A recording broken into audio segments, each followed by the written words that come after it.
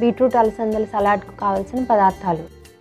ఉడికించిన అలసందలు బీట్రూట్ తురుము ఉల్లిపాయ నిమ్మకాయ మిరియాల పొడి కొత్తిమీర ఉప్పు ఆలివ్ ఆయిల్.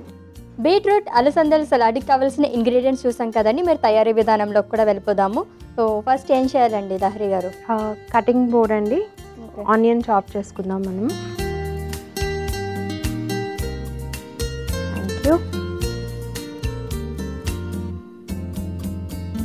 చిన్న ఆనియన్ అండి అది కూడా హాఫ్ సరిపోతుంది. కొంచెం చిన్నగా కట్ చేసుకుందాము. సో సలాడ్ అంటే కంపల్సరీ మనం ఆనియన్ ఇంక్లూడ్ చేసుకుంటాం కదా? యా ఆనియన్ ఓన్లీ ఫ్లేవర్ కోసమే కాదండి. దాంట్లో ఉండేటువంటి యాంటీ ఆక్సిడెంట్స్ కూడా బ్లడ్ ప్రెషర్కి బాగా ఉపయోగపడతాయి. అట్లాగే బ్లడ్ ప్రెషర్ కంట్రోల్లో ఉండటానికి అండ్ మనకి స్పైసెస్ కానీ ఇట్లా ఫ్లేవర్స్ అది ఎక్కువ ఉన్నప్పుడు సాల్ట్ కొంచెం తక్కువ వేసుకుంటే కూడా సరిపోతుంది. సో ఆ రీజన్కి కూడా ఇలా చేసుకునే సాలెడ్స్లో కూడా ఆనియన్ వేసుకోవడానికి ప్రిఫర్ చేస్తాము. సో జనరల్లీ సాలెడ్స్ అంటే చల్లగాను అట్లాగా కూల్ సాలెడ్స్ అట్లా తీసుకుంటాం. కదా. సో ఇది కొంచెం వామ్ సాలెడ్ అండి. వామ్ సలాడ్ ఓకే. సో దీంట్లో కొన్ని ఫ్రెష్ కాంపోనెంట్స్ ఉంటాయి కొన్ని కుక్డ్ కాంపోనెంట్స్ కూడా ఉంటాయి. సో కుకింగ్ కోసం అని చెప్పి ఆ పాన్ తీసుకోండి.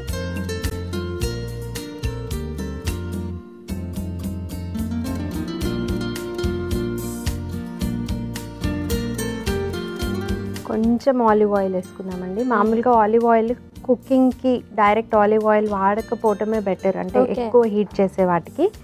ఓన్లీ మనం వార్మ్ చేస్తున్నాం అంతే మనం దేన్ని కుక్ చేయట్లేదు కంప్లీట్గా. సో దీంట్లో మనం వాడుకోవచ్చు.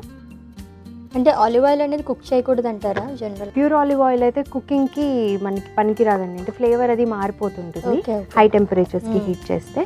సో ఆయిల్ వేడెక్కింది ఉల్లిపాయ వేసేసుకుందామండి. ఎక్కువసేపు వేడి చేయకూడదు. అందుకని. కరెక్ట్ కొంచెం ఈ పచ్చి వాసన పోవడానికి మాత్రమే అండి ఆనియన్.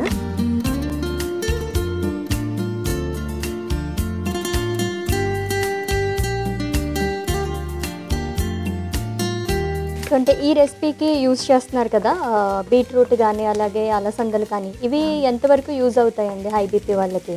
బీట్రూట్ ఆ, లో ఆ, ఉండేటువంటి కొన్ని కాంపౌండ్స్ స్పెసిఫిక్లీ మన బాడీలోకి వెళ్ళిన తర్వాత నైట్రిక్ ఆక్సైడ్ అనేది రిలీజ్ అవుతుందండి.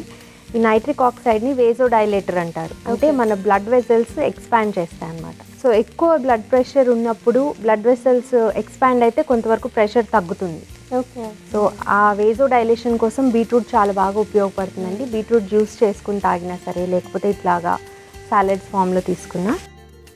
సో ఆనియన్ కుక్ అయిపోయిందండి. కొంచెం పచ్చి వాసన పోవడానికి కాబట్టి ఇది ఆఫ్ చేసేసుకోవచ్చు.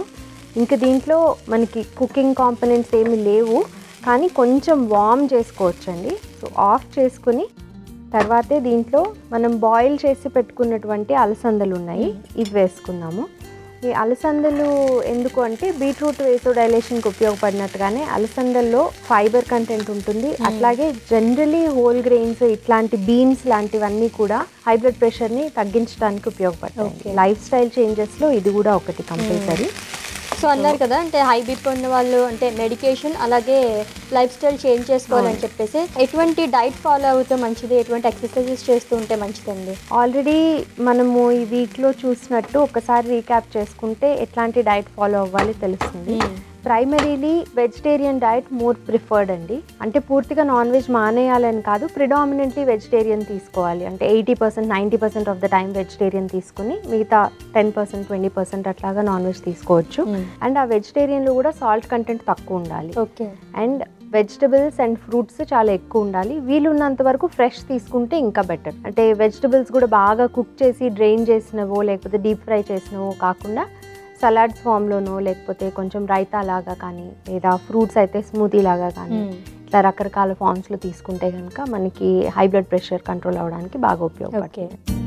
సో ఇది కూడా అలసందలు కూడా కొంచెం వేడెక్కాలి అంతే ఆల్రెడీ వేడిగా ఉన్న దాంట్లో వేసాం కదా. సో ఇవి మనము మిక్సింగ్ బౌల్లోకి తీసేసుకోవచ్చు అండి ఒకసారి మిక్సింగ్ బౌల్ ఇవ్వండి.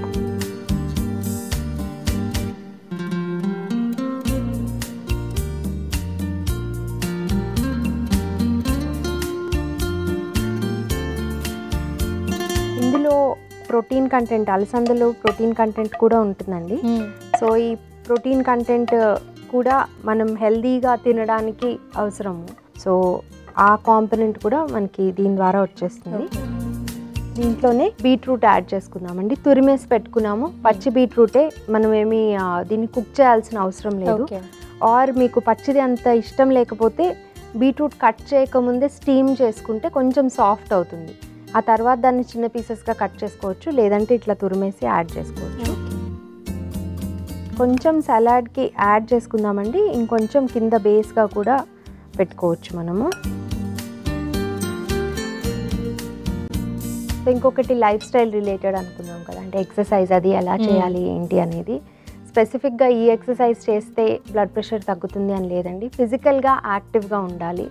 అంటే మీకు బాగా హై బ్లడ్ ప్రెషర్ ఉండి డాక్టర్ మీరు ఎక్సర్సైజ్ చేస్తే ప్రమాదం అని చెప్తే తప్ప కంపల్సరీ ఒక thirty minutes of physical activity ఏదో ఒక ఫామ్లో. వాకింగ్ కానివ్వండి అంటే బ్రిస్క్ వాకింగ్ లాంటిది స్లో జాగింగ్ లేకపోతే ఏదైనా జిమ్లో కొంచెం మోడరేట్ ఇంటెన్సిటీ యాక్టివిటీస్ డాన్సింగ్ కానీ స్విమ్మింగ్ కానీ ఇట్లాంటివి ఏమైనా సరే డెఫినెట్గా లైఫ్ స్టైల్లో పార్ట్ చేసుకోవచ్చు. వీటితో పాటుగా ఎప్పుడు యాక్టివ్గా ఉండటం అనేది అలవాటు చేసుకోవాలండి. అంటే రోజులో ఒక అరగంటో లేకపోతే గంటో జిమ్కి వెళ్ళి ఎక్సర్సైజ్ చేసి తర్వాత మిగతా ఆఫీస్లో కూర్చున్నంత టైంలో టెన్ అవర్స్ ట్వెల్వ్ అవర్స్ కూడా అట్లా కూర్చున్నట్టే ఉండి ఏమి కదలకుండా ఉంటే కూడా డేంజర్స్ ఉన్నాయండి. సో అది కూడా అవాయిడ్ చేయాలి. వీలున్నంత వరకు బాడీ మూవింగ్ ఉండాలి. సో ఎప్పుడు వాటర్ ఇంటేక్ ఎక్కువ ఉంటే వాష్రూమ్కి వెళ్ళాల్సి రావటము మల్టిపుల్ టైమ్స్ తిరగాల్సి రావడం ఎక్కడికైనా ఫస్ట్ ఫ్లోర్ కంటే పైకి వెళ్ళాలంటే మెట్లు తీసుకొని వెళ్ళడము దగ్గరలో ఉన్న సూపర్ మార్కెట్స్కి వాటికి నడిచి వెళ్ళడము. ఇట్లాంటివన్నీ కూడా డెఫినెట్లీ లైఫ్ స్టైల్లో పార్ట్ చేసుకుంటే ఫస్ట్ ఆఫ్ ఆల్ బీపీ లేకపోతే హై బీపీ రాకుండా చూసుకోవచ్చు అట్లాగే ఒకవేళ వచ్చి ఉంటే కూడా కంట్రోల్లో ఉండడానికి. ఉపయోగపడుతుంది సో దీంట్లో కొంచెం ఆలివ్ ఆయిల్ యాడ్ చేసుకుందామండి. డ్రిజిల్ చేసుకోవచ్చు సాలెడ్లోకి కొంచెం. కొంచెం సాల్ట్ అది బీపీ ఉన్న వాళ్ళకి బెటర్ టు అవాయిడ్ లేదంటే కొంచెం అండి నాట్ మోర్ దాన్ పించ్ చేసుకోవచ్చు లేదంటే అవాయిడ్ చేసినా సరే పర్వాలేదు. పర్వాలేదు. అట్లాగే కొంచెం పెప్పర్ కూడా యాడ్ చేసుకోవచ్చు.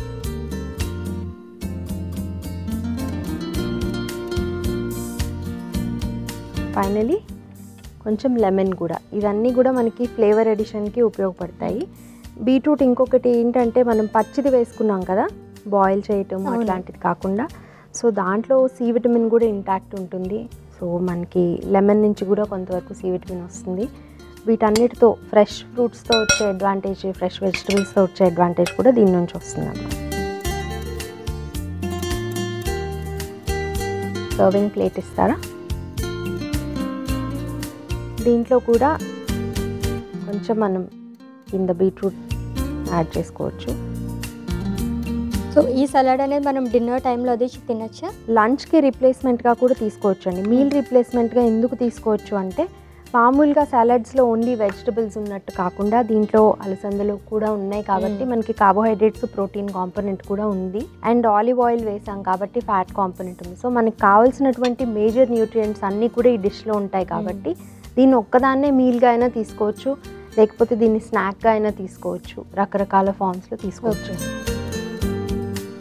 ప్రిపేర్ చేసుకున్నటువంటి సాలడ్ కూడా దీని మీద యాడ్ చేసుకోవాలండి.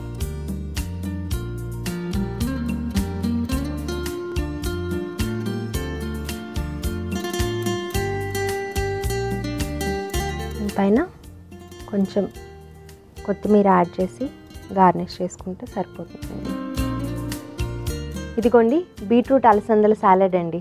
వావ్ సో కలర్ఫుల్గా ప్రిపేర్ చేశారు. దాంట్లోనే బీట్రూట్ కదా ఇంకా కలర్ఫుల్గా కనిపిస్తుంది సో బీట్రూట్ అలసందల సలాడ్ సో రెడీ అయిపోయింది మరి టేస్ట్ చేసేస్తాను. అంతకన్నా ముందు దీనికి కావాల్సిన ఇంగ్రీడియంట్స్ అలాగే తయారీ విధానం ఒకసారి చూసేద్దాం.